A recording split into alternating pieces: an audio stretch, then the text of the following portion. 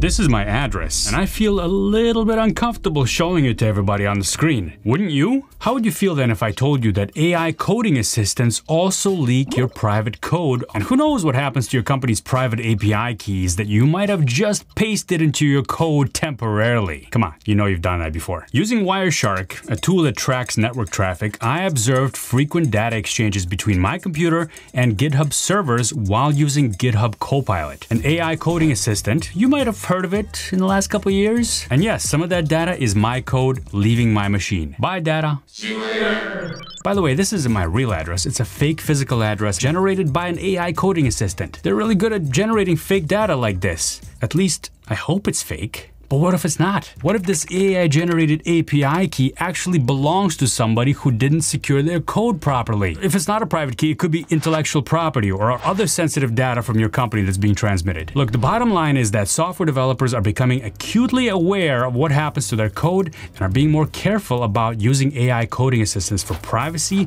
safety, and legal reasons. This brings us to Tabnine. This video is sponsored by them, but they've allowed me complete editorial freedom and haven't previewed this video, which is a testament testament to their confidence in their product, and I'll point out its strengths and some areas that need improvement. Firstly, Tabnine IDE support is extensive. Look at all these. VS Code, let's see if I know all these. WS, WebStorm, Visual Studio, PC, PyCharm, Go, IntelliJ, RM, is that a Ruby thing? Eclipse, does anybody use Eclipse anymore? PSCL, I don't know what those are. NeoVim and Android Studio. What?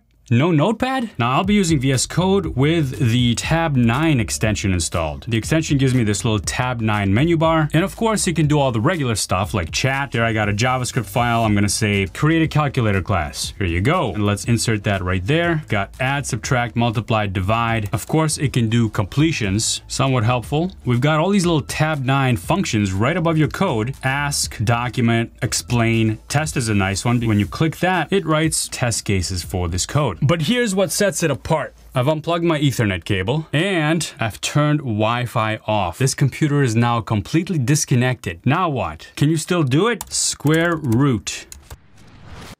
Yes, that actually works. Let's call square root and square root of four. Node index, well, we gotta return this. When you're disconnected and using local model, which I'm about to show you, you still have to start things up for it. And there we go, two. Oh my gosh, it still works. How does it do that?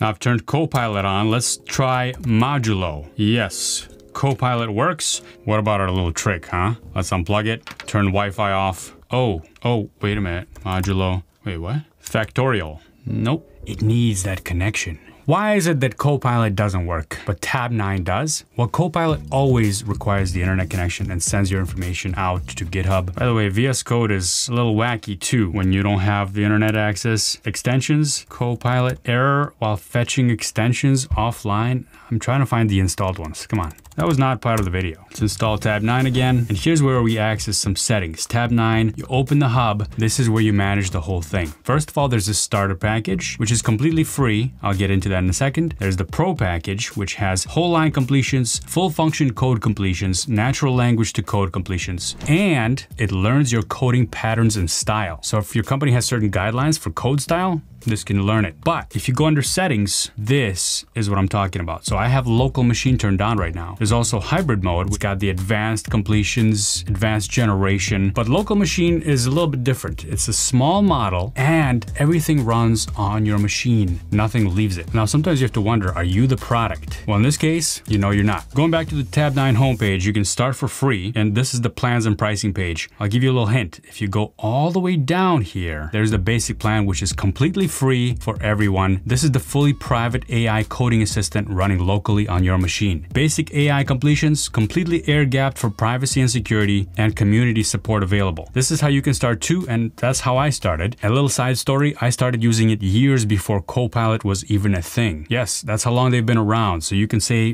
they have a little bit of experience in this game. Now let me give you a slightly different order that you could go.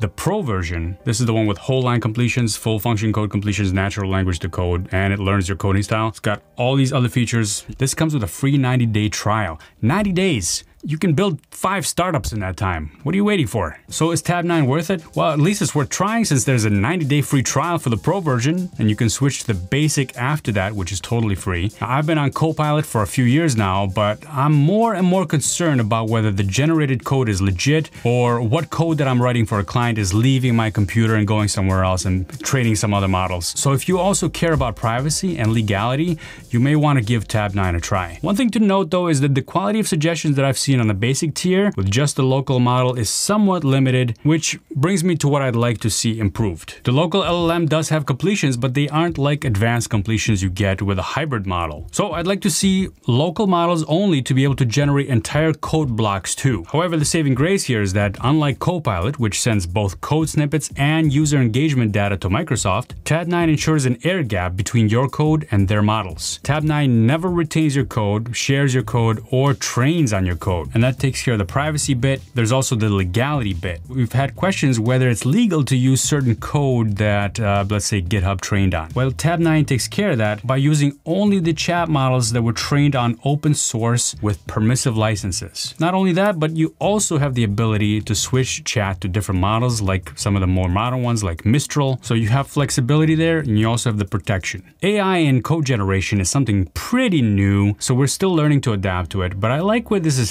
And Tabnine prioritizes security and transparency. They share how the models are developed and ensure that the training involves only code with permissive licenses. This prevents future legal issues with code ownership for you or your company. And speaking of companies, they do have an enterprise plan as well, where you can have a completely self-hosted on-premise solution. And the AI agents are personalized and trained on your code base. Uh, if you want to set up your own LLM locally, I've made a video for that. You can watch that right over here. Thanks again to Tabnine for sponsoring this video. I will see you all in the next one.